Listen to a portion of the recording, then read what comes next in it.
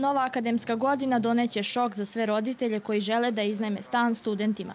Razlog je visoka cena stanarine. I dalje muku mučimo sa visokim cenama renta u Novom Sadu, pa vam za recimo jednu garsonjeru treba 300 evra mesečno plus troškovi, jedno i posoban stan od 400-450 pa na više.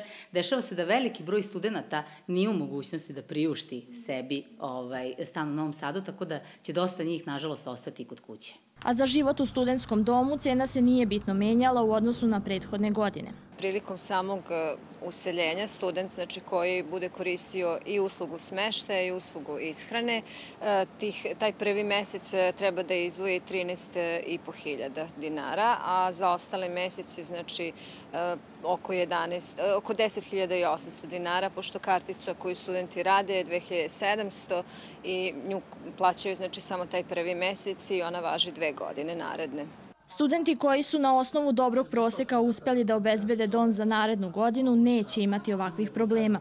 Ovo predstavlja odličnu motivaciju za sve ostale studente da se potrude i ostvare što bolji prosek i tako obezbede siguran smeštaj u nekom od studentskih domova, a roditeljima smanje troškove.